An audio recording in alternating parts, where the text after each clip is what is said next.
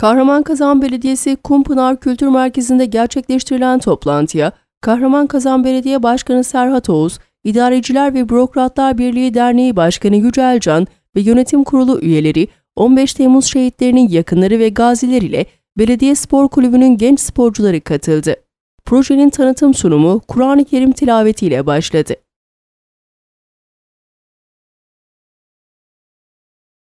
Dernek Başkanı Can, çünkü kahraman kazan Çanakkale'dir. Dik duruşun sembolüdür.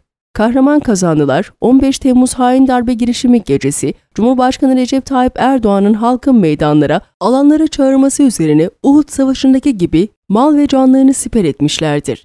Tarladaki mahsullerini, alın terlerini siper etmişlerdir dedi. Projeyle herkese kucaklamaya çalıştıklarını ve kardeşliğe değer kattıklarını söyleyen Can, mekan ve sınır tanımayarak çalıştıklarını kaydetti. Can, sınır illeri olan Artvin, Şanlıurfa, Mardin, Kilis, Hatay başta olmak üzere herkesi kucaklamayı hedeflediklerini anlattı.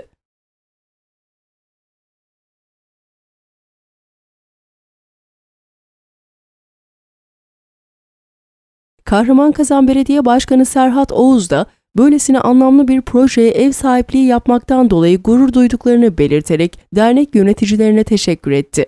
Proje kapsamındaki sen ben yok, başka Türkiye yok sözünün oldukça anlamlı olduğunu ifade eden Oğuz, projenin hayırlara vesile olması temennisinde bulundu.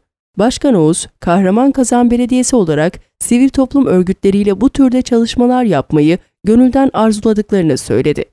Başkan Oğuz ve Can daha sonra 15 Temmuz şehitlerinin aileleri ve gaziler ile genç sporculara plaket takdim etti.